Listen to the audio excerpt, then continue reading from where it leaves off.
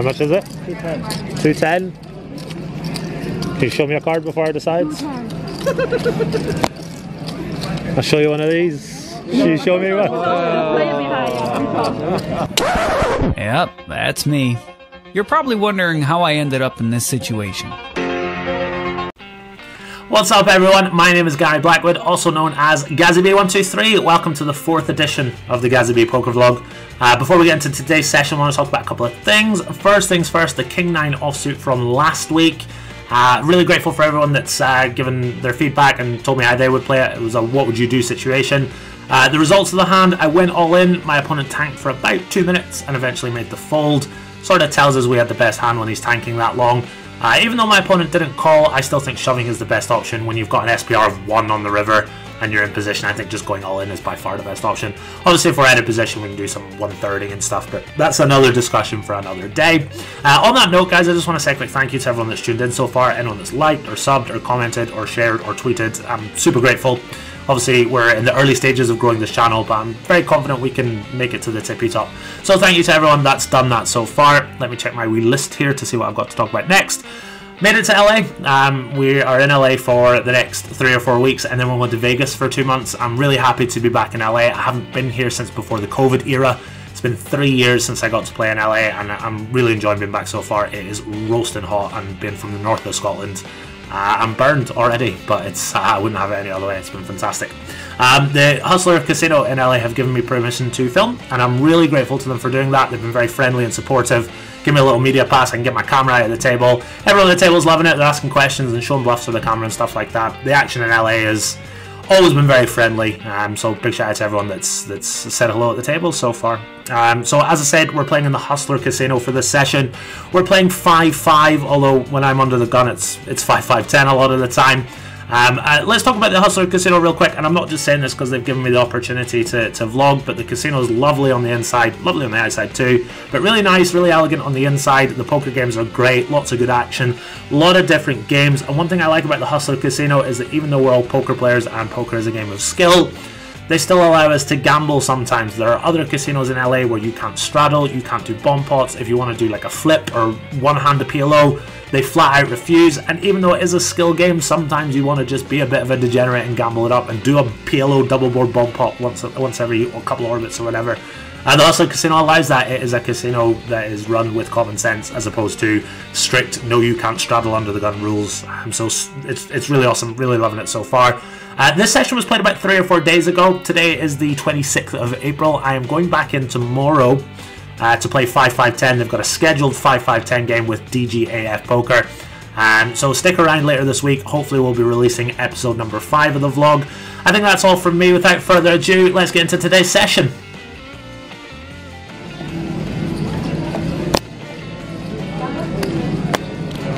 It's our very first hand at the new table, and of course we straddle, we pick up pocket 8s, action folds round to the small blind, he calls the 5, the big blind makes it 50, I call, the small blind folds, and we're heads up to a flop on our very first hand of the night. We're not exactly in love with that ace, but it's certainly not a terrible flop for us. We've got backdoor straight draw, backdoor flush draw, we can have the best hand a lot of the time, it's a very easy continue for us. My opponent takes his time before eventually betting out $140. Really close spot here. I don't have any reads on my opponent. As I say, it's my very first hand of the night. It feels really marginal, but I think without reads, this is completely fine to just go ahead and call. We've got the gut shot. We can still have the best hand. I think just calling and deciding what to do on the river is the best option.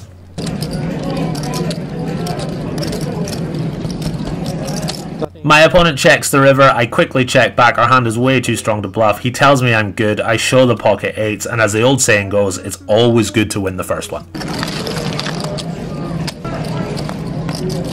Next up, we've got an ever so slightly blurry King Jack offsuit under the gun. We've opened to $20. Hijack is called and Cutoff is called as well. Pretty good flop for us. I go ahead and c-bet. Hijack folds, Cutoff makes the call. I think our hand plays well as a check on the turn. I don't have any reads on my opponents. If he's a massive calling station, then betting is obviously fine. But I think I go king, queen, ace, king, and all my sets in two pair here. I check, my opponent checks back, and we get the queen of spades river, so the backdoor flush comes in. I think our hand is definitely strong enough to bet. I bet $110. My opponent snaps me off. We show the king jack. He taps the table, and we drag in our second pot of the night. 15.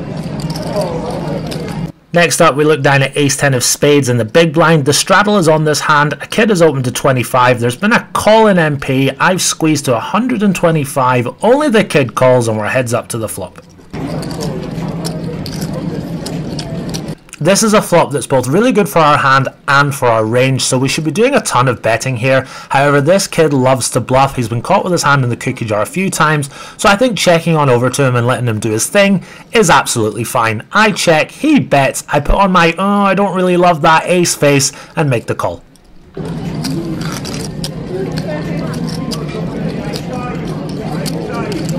The turn is an absolute dream. We've got top two and the nut flush draw. I check. My opponent shoves for about 500 bucks. I snap call. I see the look on his face and I know that he's virtually drawing dead. So I just turn my cards over. I'm a big fan of if you've got a really strong hand or your opponent gives an indication that you're good, just go ahead and turn your cards over. I do just that. He mucks and we scoop in a really nice pot. Thank you. Thank you. You guys have already seen what happens in this hand in the intro. In my defense, I was typing in all the notes from the ace 10 suited hand in my phone so I could remember them when making the vlog. Hijack is opened, I've called on the button with ace 4 of hearts, the big blind is snuck in there without me seeing, the straddle's gone all in for $210, it folds round to me, I'm a big fan of having fun at the table, if we're heads up I think this is completely fine to just show a 4 as I'm mucking, but obviously with another player in the pot this is absolutely horrific for me. Fortunately everyone at the table was super friendly, the dealer was okay with it, and I didn't get kicked out of the game. I'm really sorry.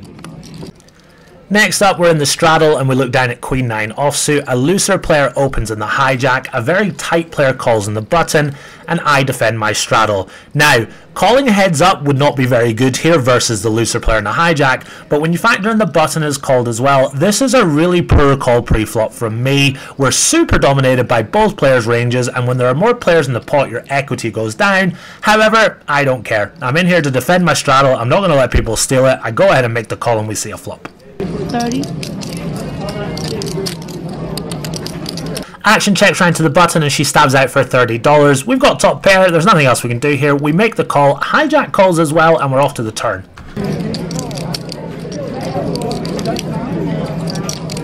100. In the words of the great Viffer, nine ball corner pocket. We turn top two pair, we check it on over to the button. She leads out for a hundred dollars. There are a lot of draws out there now, and I know that she's probably not going to go for thin value on the river with a hand like King Queen or Ace Queen. So I think just shoving here is probably the best option. I go ahead and jam for about six hundred dollars. The hijack makes the call as well, and the button is deep in the tank thinking about what to do. Eventually, she makes the call. The hijack's got ace jack of clubs. The button's got ace queen offsuit. We just need to fade a club or an ace for a very large pot. Fortunately, the dealer obliges. It's a complete brick on the river, and we scoop in yet another nice pot. What a great run we're on so far tonight. After several limps, I am in the small blind. I look down at pocket tens. I make it 35 to go. All three players call, and we're four ways to the flop. 110. We flop bottom set on King Jack 10. All the players in the pot are really quite loose and aggressive, so I'm really not worried about Ace Queen. They might have Queen 9, but we'll cross that bridge when we come to it if we need to. There are so many pair plus straight draws and top pairs and gut shots and all that sort of stuff that's going to call. We've got a very clear bet. The first limper is a really active, fun player, and he looks as if he's ready to raise and play for it all, which I'd be more than happy to do, even though we're $1,300 effective. Unfortunately, at the last second, he folds. Everyone else snap folds, and I show my pocket tens and drag in another pot. In this hand, once again, we're in the straddle. I don't know if you guys are seeing the trend that I'm seeing, but I think I straddle a bit too much. We look down at 5-4 offsuit. It's been opened in MP by a very loose, very active, I'm going to say it, it's a spewy player that's opened. I am in the straddle with 5-4 offsuit. This is really, really loose, but I want to play pots with this player, particularly heads up. I wouldn't call a hand like 6-4 offsuit or 3 deuce offsuit or 9-7 offsuit, but something like 5-4, 6-5, 7-6. I think I can just about make it profitable, but only versus this type of player. 325. 325. After flop and turn go check check, we make our straight on the river. I put out a very sneaky river check. My opponent bets $50 and I go for as much money as I think I can get out of him. I make it 325. He calls very, very quickly. I turn my hand over and he taps the table and we scoop in yet another pot. Thank you. 225. 225. Next hand, we're playing 5-5. There's no straddle in this hand, and the loose aggressive player decides to open to $40, which is a pretty big open considering there's no straddle. MP makes the call, and I look down at a pair of kings in the small blind and squeeze it to $225. Action folds back round to the early position player, and he says that this is his time. He goes all in for $1,045 more. I, of course, make the call. Over to you, dealer.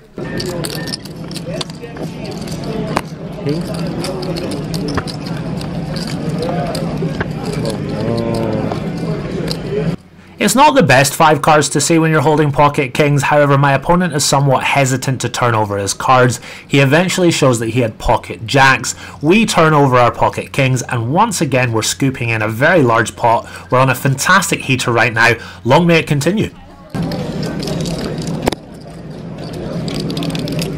In this next hand, once again, I'm in the straddle. I've got Jack 9 of spades. There have been a few limps. The cutoff makes it 35. The small blind calls, I call, and the first limper decides to limp raise to $105. The cutoff makes the call. The price is just too good for us. I know we're up against a very strong hand a lot of the time here, but we're deep enough to make this profitable for sure. If we flop two pair or make a straight or a flush, we can win a lot of money. Very easy call for us, and we go three ways to a flop.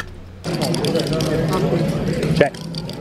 This is exactly the type of flop we were looking for. We flop top pair and a flush draw, which means any jack, any nine, any spade, very likely to win us the pot. The flop goes check, check, check. We break on the turn, which again weirdly goes check, check, check. On the king river, we somehow miss. Can we win one pot today? Just kidding, obviously. We check, and the limp raiser makes it $105. We both fold very quickly. A lot of outs there, but you can't win them all. It's been good.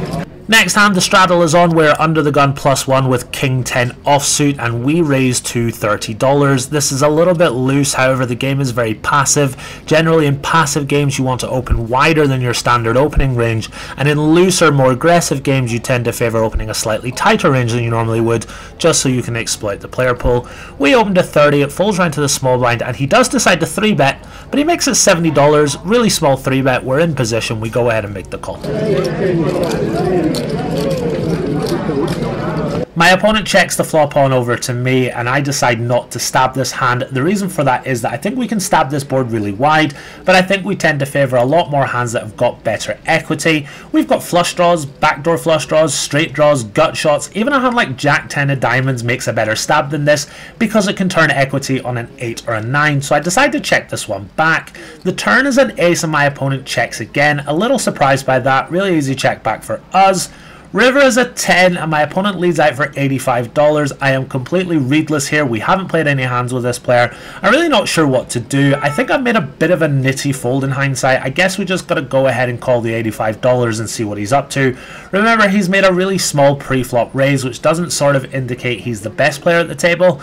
So I don't really like my fold in hindsight here. I think we just got to stick in the call and see what happens.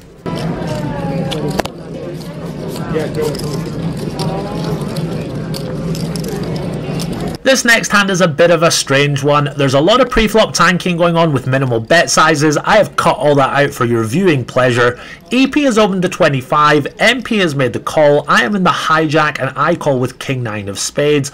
The small blind calls, the big blind calls and we go 5 ways to the flop. After yet more bizarre flop tanking, the original raiser bets 25, MP calls, I've got top pair good kicker, I call as well, and we go three ways to the turn. BL. Early position checks and MP takes his sweet, sweet time before betting out $50. It's a pretty small bet in relation to the size of the pot. We're not loving life here, however, we could be ahead, and even if we're not, we're getting really good odds to improve on the river. I think our call is just about okay here.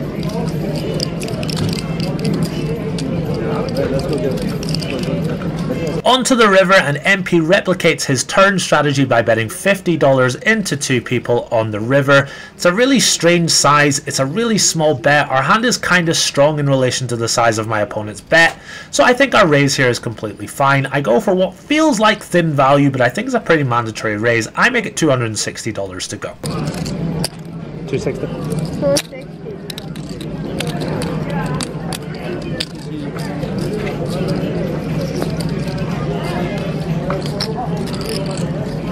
My opponent thinks for about 15 seconds before making the call. I triumphantly turn over my cards and my opponent rolls over. I'm not going to tell you. Let's do a little giveaway, 100 bucks to anyone who can guess my opponent's whole cards. Let me know in the comments below. Once again, I'm in the straddle. Action folds round to the small blind. He opens to $35. Big blind calls as well. I think if we're out of position here, even versus one player, this is a pretty easy fold. But when we're closing the action and also closing the action post flop, I think this is just about okay. I go ahead and make the call. Action checks to me on the flop. I don't really see any reason to stab here. We've got middle pair and a backdoor flush draw. I'd much rather just check back and keep the pot small. On the turn, the small blind leads out for $55. Pretty easy call for us. We go ahead and make that call. On the river, my opponent checks to us. I check back. He announces we win. He rolls over 8-3 of spades, and we scoop in another small pot. In this next hand, I am in the cutoff with King Queen offsuit. There's been a limp. I isolate to 25. The button calls a very tight player and the big blind calls as well. The limper folds. We go three ways to the flop. 60. I bet $60 on the flop, only the button calls. She leaves herself $40 behind. I mean, if I'm her, I'm just going all in here, but each to their own. On the turn, I put her in for her last $40. She absolutely snaps me off. She's got ace king. Nice hand. Next hand we open pocket queens in early position. The straddle is on so we make it 35. Cut off calls, button calls and small blind calls as well. We're four ways to the flop. Is that? Check.